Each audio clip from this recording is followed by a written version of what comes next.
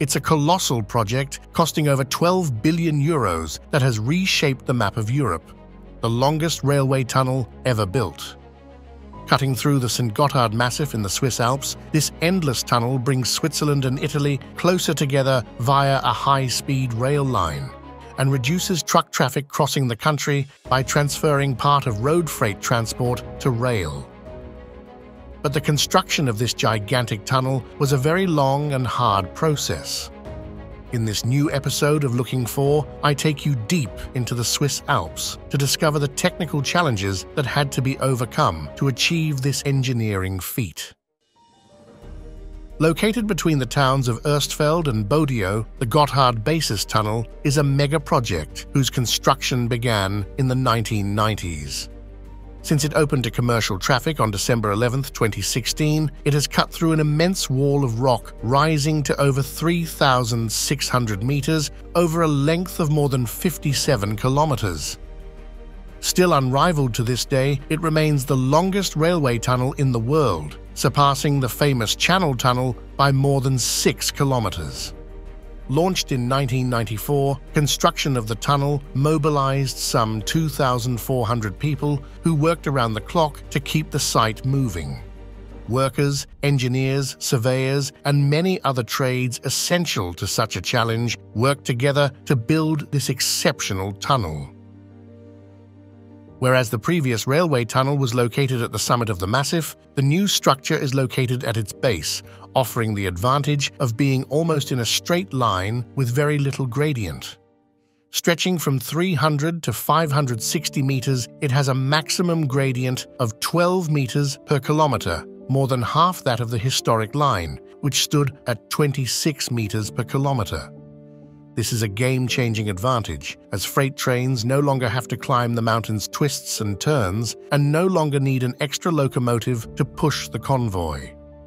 As a result, the new Gotthard Basis tunnel can reduce energy consumption by a half, even with longer, heavier trains, and save 45 minutes on the journey between Zurich and Lugano.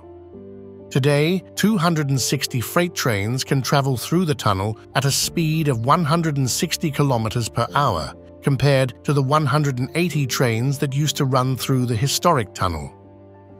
Speaking of history, the old railway tunnel, inaugurated in 1882, was a real technical feat for its time. Running almost 15 kilometers, 1,000 meters below the summit, it became the longest tunnel in the world at the time. It was dug from both ends using the brand new dynamite patented by the famous Alfred Nobel in 1867. This historic tunnel continues to be used as a fallback solution in the event of the high-speed line being closed due to an incident or repairs. But it's not just freight that benefits from the new tunnel, passengers too. Since 2020, with the completion of the 15 kilometers Ceneri extension tunnel, the high-speed line between Milan and Zurich has saved almost one hour, from 4 hours 10 minutes previously to just 3 hours 17 minutes today. The maximum speed allowed in the tunnel is 200 kilometers per hour, which is 40 kilometers per hour more than the Eurostar speed limit in the Channel Tunnel. But let's leave the trains aside for the moment and turn our attention to the technical aspects of this gigantic tunnel.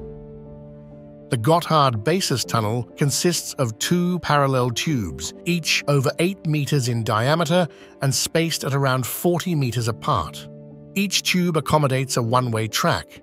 However, there is no additional tube to evacuate passengers in the event of an accident, breakdown or fire, as is the case in the Channel Tunnel. Instead, transverse galleries connect the two tubes every 325 meters. These allow stranded passengers to reach the adjacent tube. The tunnel is also equipped with two emergency stop stations in the event of a problem. The tunnel's designers installed smoke extraction chimneys and powerful ventilation systems at these stations in order to prevent any disaster. In the event of a fire in one of the tubes, the safety equipment creates excess pressure in the second tube, preventing smoke from entering and allowing passengers to escape into the fresh air. In addition, the stations also house two exchange rail diagonals, enabling trains to switch from one tube to the other if necessary, as in the case of maintenance work on the track.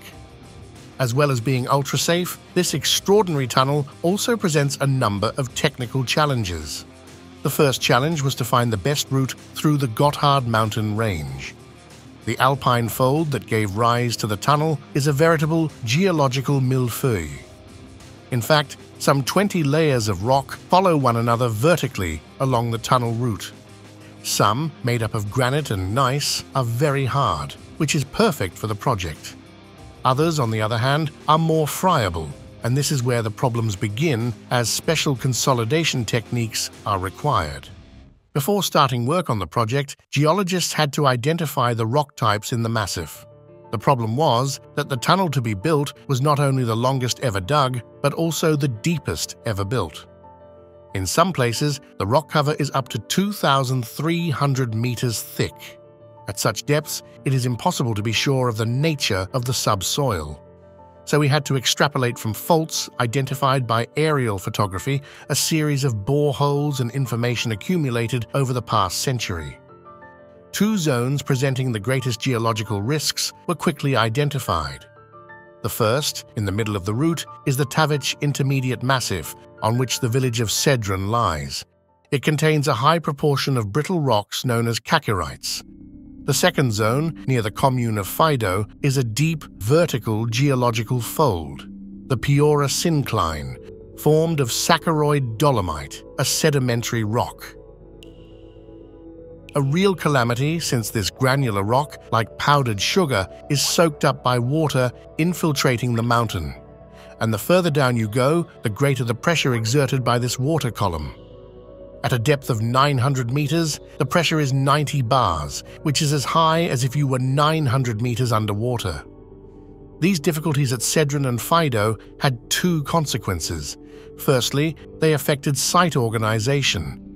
Rather than digging the two tubes from their ends at Erstfeld and Bodio, intermediate attack points were added at Amsteg, Sedrun, and Faido, with several access tunnels to lower men and material to the future tunnel site.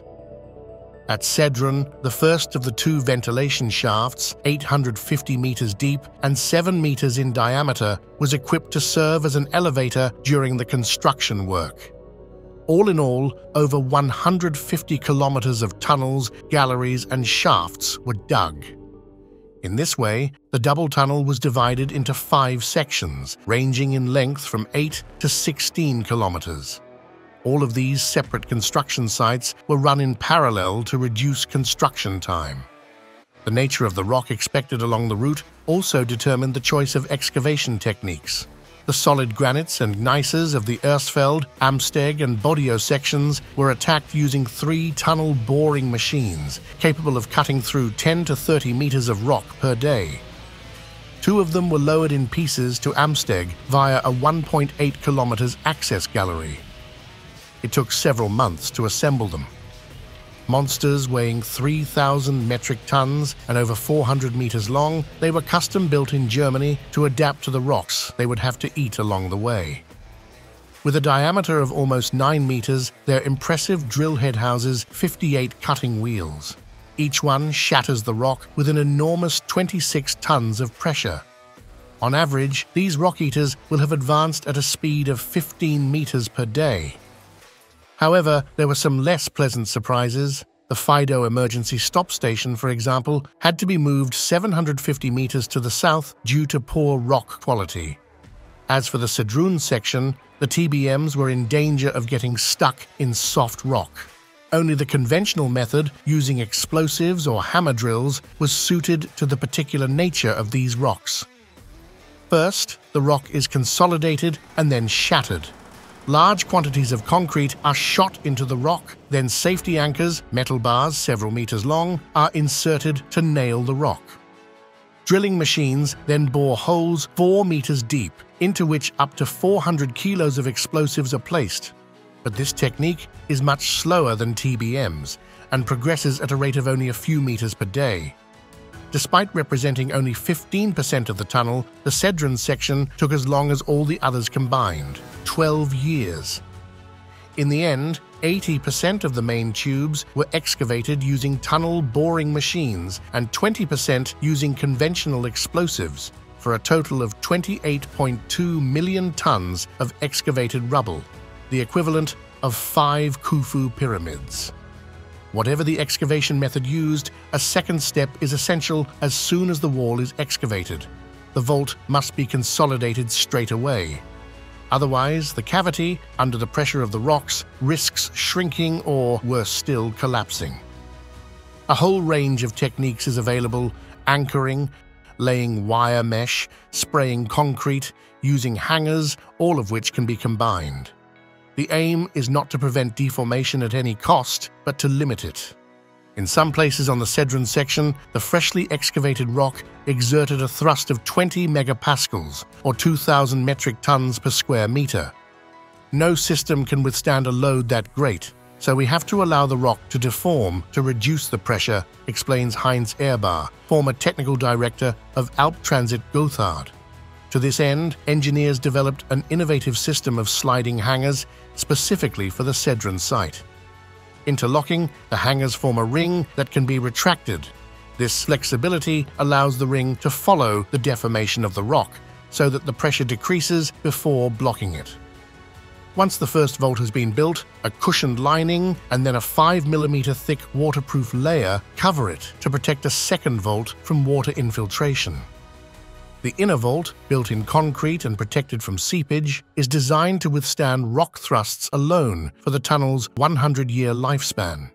Beyond that, reconsolidation work may be required to extend the operating life of the tunnel. In the end, the civil engineering work was completed on March 2012 when the last concrete block was poured.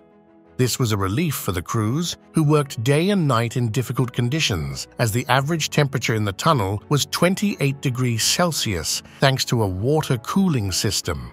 Without this system, the temperature would otherwise have averaged 45 degrees Celsius. The final stage in this titanic project is the installation of the railway installations that will enable the tunnel to be operated. Tracks, points, power supply, radio, and telephone links, not forgetting, of course, the signs for train traffic.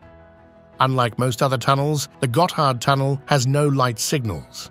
Instead, positioning beacons on the tracks ensure that the location of trains in the tunnel is always known. A specific software system for preventive incident detection is also installed. Based on information sent by the trains, automatic scenarios can be triggered, such as the activation of the tunnel ventilation system in the event of prolonged stoppage of the train in the middle of the track.